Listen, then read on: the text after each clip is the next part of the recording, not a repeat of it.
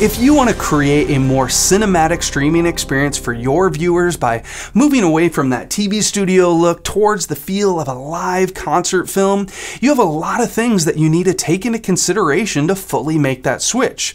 Like shooting your video at 24 frames per second, or setting your cameras at a low f-stop, which gives you that really nice shallow depth of field, and getting more creative with the angles of your shots.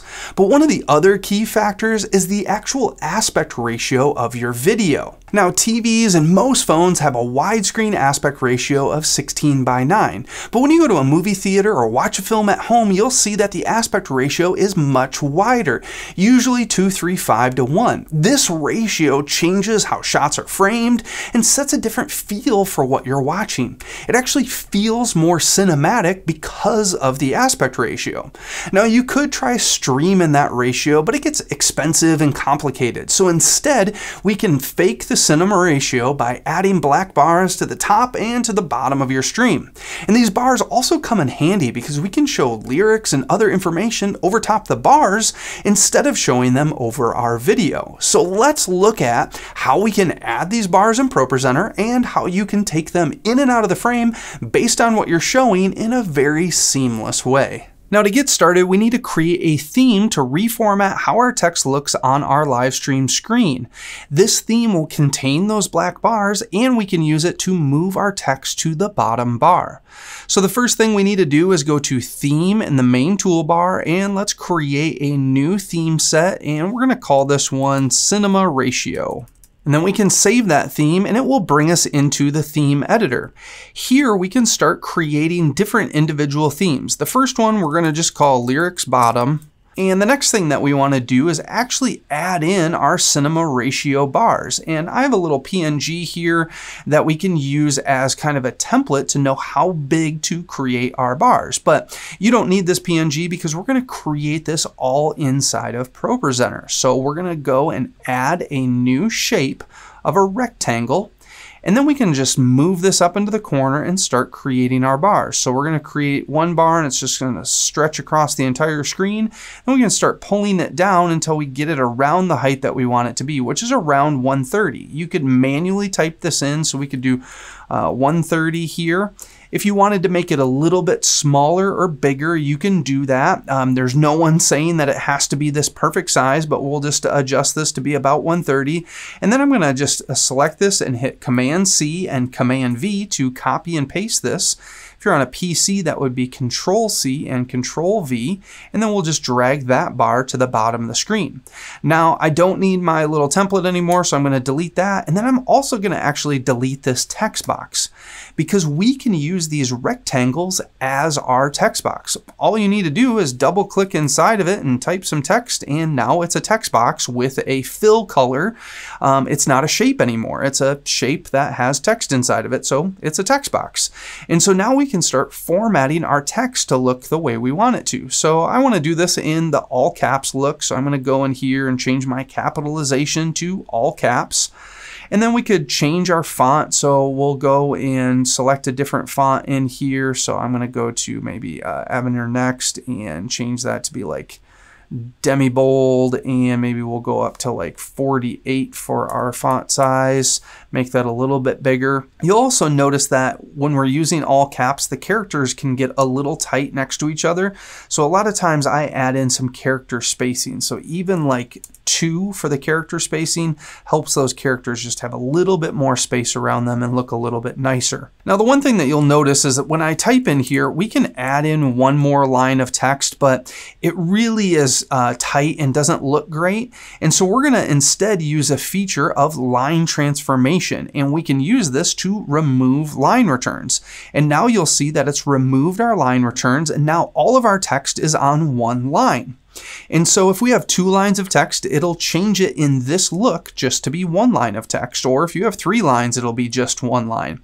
But if you're using more than two lines, you might run into issues where your text can't fit in one line all the way across the screen. So we do have one other option we can add in here of scaling, and we'll just scale the text down to always fit inside this box. So, we're setting it to make our text always on one line and always fit inside of our bar. The last thing that we want to do is make sure that our text doesn't go all the way up to the edge, and we can do this by adding some margins in. So we'll just go in and we'll add a margin on the left and right of about 20 pixels on each side, and now uh, our text can't go all the way up to the edge there. So this is all looking good. Now we could go and change these bars to be black, but I'm going to leave them blue just so we can easily see what's going on, and then we'll change them to black at the very end. So we're going to go back to show and now we need to utilize that theme on our live stream screen. And the way that we do that is by using looks. And we can find that under screens and edit looks. We're going to create a new look for our screens. So when you open up looks, you'll see all of your screens and all of your layers on each screen. But you'll notice that the presentation layer has an option here, and this allows you to choose an alternate theme to use on that that individual screen. So let's create a new preset and I'm gonna call this my Cinema Lyrics. And then I'm going to go and I'm going to add an alternate theme to my live stream screen using our Lyrics bottom theme. The other thing that I need to do is I need to make sure to turn off the media layer on the live stream screen. We can leave the video input on, and then on our main output, we probably want to turn the video input off. And so now all of our layers are set up and we have our alternate theme. And now I can say make live. And now we're utilizing that theme on our screen. And you can see that over here in our looks icon where we can choose our different looks. You'll see that it's using our cinema lyrics look. So now when I click on some lyrics, you'll see on our main output, it looks exactly like the slide and it's two lines of text. But if we go to our live stream screen, you'll see it's the blue bars and it's one line of text at the bottom of the screen. And so as we click through, you'll see that our text is always transformed down into one line and it's always fitting into our screen here. So it looks exactly the way we want it to. Now we could use this theme for our entire stream, but most often you'll see this type of cinematic look during live music, but not during speaking or teaching moments. So we want to figure out how to transition these bars in and out. Now we could just turn them on and off, but that's really obvious.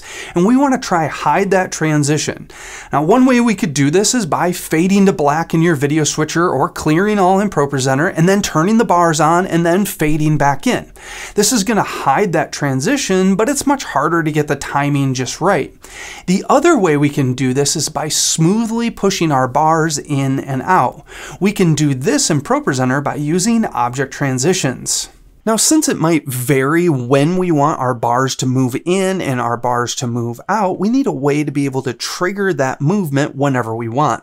And the way we're going to do this is by creating a few more themes. One theme for the bars to move in and another theme for the bars to move out. And then we can just switch to that theme whenever we want the bars to move in or out. And then we can switch to our static bars that we first created anytime we want the bars to just stay there.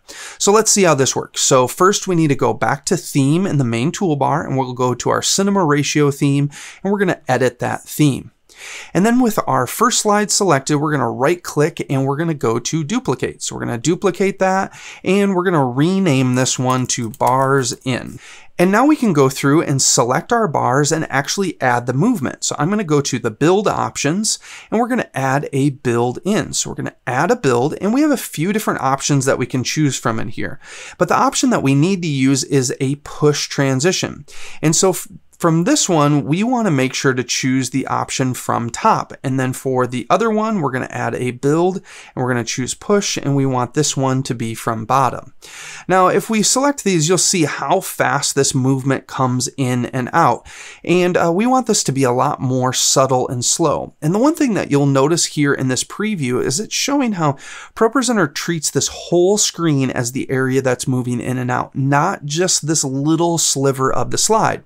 So it's it's not moving this from right off frame into frame, it's moving it from a whole slide's worth away from this area.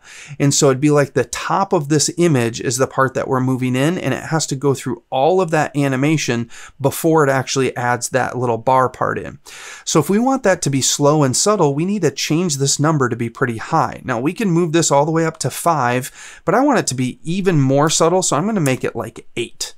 So we'll set both of these up to eight. We we can just type a number in. And now both of those bars are going to take eight seconds to come in, which will help that movement to be really slow and subtle. So when that bar part at the very top here comes in, it will uh, be nice and slow. Now at the bottom, this is how it's actually being brought on. So this first one right now is saying on click. Now we can't really click that on, so we need that to come in with the slide. And then our other one, we want that to come in with the first build. So with build one, which is our first rectangle. So this one's going to come in when the slide gets triggered, and this one's going to come in with that previous build. And you'll see again how this image is slowly moving up, and you can picture how our bar is just that bottom edge of that image. And so that's why we need to set that number really high. So now let's see how this works. So I'm going to go back to show, and uh, what we need to do now is create a new look to trigger that theme to be shown. So we're going to go back to screens and to edit looks. And here we're going to duplicate our cinema lyrics look. So I'll right click on cinema lyrics. We're going to duplicate that and I'm just going to call this cinema lyrics in. So this is our movement in, and all we need to do here is now we can change which theme we're using. We're gonna change this to bars in. All of our other settings are the same because we can duplicate that, and now I can just make that live. So now let's see what that movement looks like. So I'm gonna click on this slide, and you'll see that nothing's happening here for a few seconds, but then we'll see right at the end here, we'll see those bars moved in nice and slow and subtle, just the way that we wanted it to.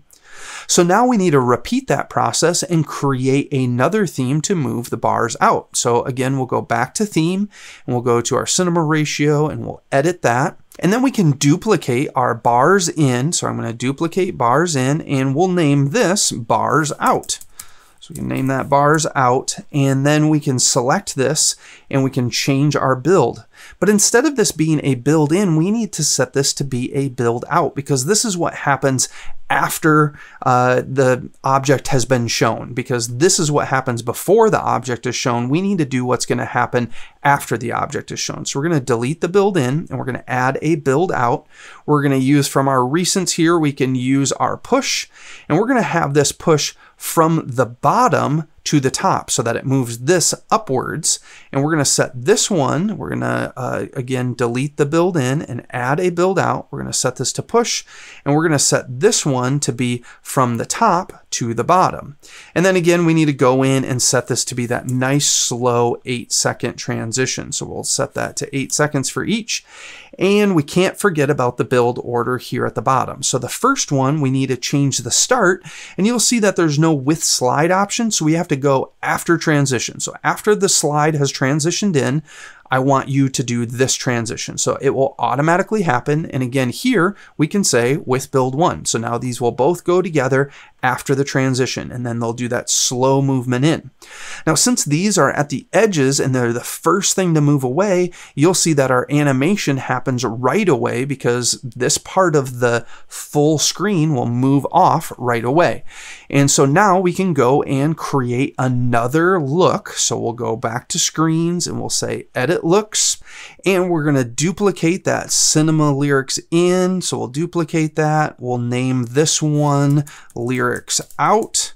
And then we just need to change that from our bars in to our bars out. Now what you'll notice as soon as I make this live, it's going to move those bars out here. So I'll make that live and you'll see how our bars move out exactly the way we want it to. Now you might be wondering, why do we need those three different looks to be able to accomplish this? Well, let's look at how this works because right now our cinema bars out is selected. You can see over here uh, by our look icon which look is currently active and uh, that animation is applied to every single slide change. And so if I click on this slide, it's going to show the lyrics and then it's going to push them out. And if I click on this slide, it's going to show the lyrics and push them out. And it's going to do that for every single slide change.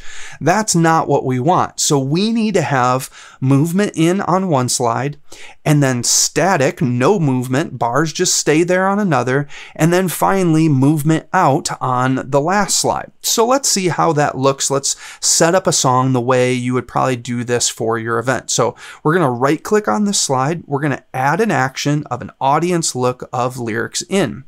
And then our first slide of the song, we're to add another action of audience look, and we're just to set this to lyrics. This is our static one where it's just the bars, nothing's moving around. And then finally, at the end of the song, during our outro, I'm going to add another action of audience look and cinema lyrics out. So now let's see how all of this functions together. So I'll select this and on our main screen, the uh, motion background showing, it's not showing here on our live stream because we set that in our looks, but you'll see how our bars move in. And then when I go to that next slide, you'll see our text shows up and now our bars are staying static. They're not changing because that's the look we're using right now. So I can switch slides and our bars are going to stay. They're not going to go away until we get down to the very end of the song and then then when we switch to this different look, our bars out, we switch to that and our bars go away. So that's how you would set up your event to have your bars move in and out. So basically during your first song on your first slide, you'll move your bars in and then you'll set your bars to be static on like the next slide. And then on your last song on the very last slide, you'll set your bars to move out. And so you just need to adjust that for your songs um, in your playlist. And then you can kind of have that be automated and your operator doesn't even need to worry about moving them in and out. However, your operator can change this at any time. So let's say the bars are on and you're like, we need to get the bars off because we're going to switch to something different on the fly. They can go over here and click on the active audience look and just say, cinema lyrics out and they can just press that and it's just going to take that right off the screen whenever they want. The other way that you could do this is by creating a macro. So we could go in here and create a macro and we'll just call this uh, bars out and we can right click on this and add one of those actions. So we'll add our audience look action of cinema lyrics out. And so now let's say, you know, our bars are showing, so they're on there and we need to just quick get those off. We can just click on bars out and it will take the bars out. So you can utilize those macros or you can utilize actions on your slides. Now, the last thing that we need to do is we need to go back to our theme editor. So I'm going to click on the more button in our toolbar and go to theme editor. And we need to go through and change these from blue. We don't want these to be blue. We want these to be black. So we'll go back to our shape properties and we'll switch these back to black. Uh, I left them blue just so we could clearly see what's happening, but we can go in here and change these all back to black. So all we need to do is just go adjust these and then we can take a look at what this looks like with some actual concert footage. So we have our concert footage here and you'll see how our bars are going to kind of slowly move in so we can kind of hide that transition. And then we can start going through our lyrics and we can change our slides here and you'll see how all of our text is on uh, one line and then as we finish up our song we'll go down to the last slide and then we can take our bars out and they're going to slide out of frame as we finish our song up. Now finally, here's a couple things to keep in mind if you start using the cinema ratio for your stream. First, if you're sending lyrics to a video switcher and you currently use a Luma key to key out the background to show those lyrics over top your video, you're probably going to have issues since a Luma key is removing anything black, which means the black bars would actually be keyed out and you wouldn't get the effect at all. So instead, you should use a chroma key or an alpha key which won't key those bars out. Also, you got to remember that these bars are blocking out part of the image, and so you need to start framing your shots differently when you're using the cinema bars. This is part of that cinematic look that you're starting to frame those shots differently. So you have to train your camera operators on how to adjust their shots when you're using those bars. But now you know how to use ProPresenter to make your stream look even more cinematic. And don't forget, you can find more training and tutorials at ProPresenter.com.